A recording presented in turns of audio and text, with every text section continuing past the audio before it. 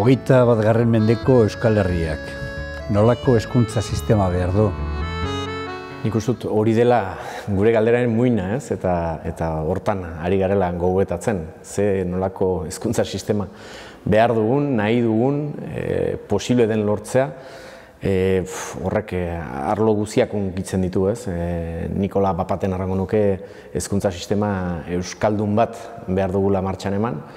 Eta ez dakit badakizun, baina gaur egun estatistikoki begiratzen bali badu e, baionar batek, donostiar batek eta iruñar batek ze hizkuntza duten e, aman komunean, ba, hartuko gara e, ez dela ez gaztelera, ez frantsesa, ez da euskara ere, baizik eta inglesa dela, ez?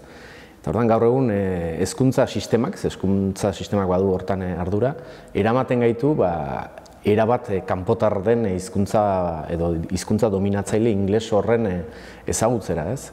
Orduan guk eh, anitzetan erraiten dugu Ipar Euskal Herrian erraiten da, bai, behar dira ikasleak bultzatu espainola ikastera Ipar Euskal Herrian. Eta hegoaldean esaten da, bai, behar dira ikasleak bultzatu frantsesa ikastera. Nik uste dut, jadanik bai batean eta bai bestean Euskara ikastera bultzatuko genitu eta energia hortan e, xagutuko genitu, hau da, denak Euskaldun bilakatzea, ba hortan lortuko genukela ba, benetako zubi hori egitea, ez? Garaian egiten zena, mendeetan aintzina egiten zena eta galtzen ari garena.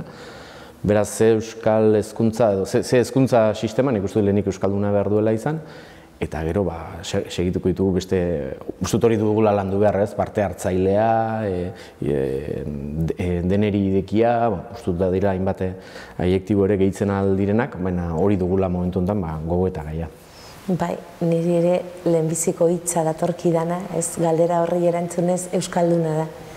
Eta Euskalduna, ba, hori, hor, hizkuntza eta kultura uztartuta, bai, e, igual nahi bada, ba, ez dakit bigoskitik hasita baktina zurmendik, ez, e, kulturaren zentzu sakon horretan kontzintziarenean, begiradarenean, ez, komunitatea, taldetasunarenean, gutasun horri buruz, ez, hitz egiten duen kulturaren e, bueno, idei horretan, ez?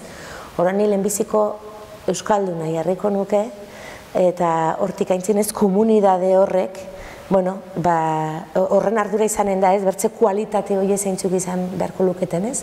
Ezkuntza, Euskal Hezkuntza Sistema horren bertze kualitate hori zeintzuk izanen lehateken, ba, komunidade horrek ere iki beharko luke modu kolaboratiboan, eta eta hori biztan da, ba, bueno, ba, segurazki parte hartzea, kohesioa, demokrazia olako hitz batzuk agertuko dira ekitatea, e, segura eskere bai, baina nortik abiatuta. Euskal komunidade horren taldetasunetik edo lan ere kolaboratibo horretatik edo eraikuntza horretatik. Bai.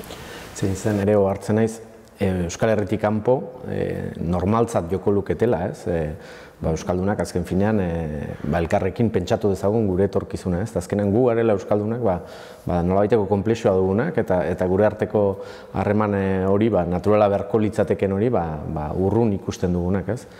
Eta ba, uste dut badela garaia eta hori dela gomidatzen dituzte gogeta hori egitera eta uste dut gogeta hori egin behar dugula dena artean. Ados naize komplexuaren hitz horrekin ere bai, eh? Badirudez gure hizkuntza eta komunitate gutxiagotu horretatik ez gero batzutan ez, asertibidade hori zenba kostatzen zaigun ez, eta erratia ez, haizu gu ere hemen gaude ez, eta hogeita bat garren mendeko mundu horretan ez, Euskaldun gizara gure, on, gure komunitate gure ez, begira da honetatik badugu eskubidea guk ere sortzeko ez, e, proposamen, proposamen bat gure herriaren dako proposamen bat. Bai?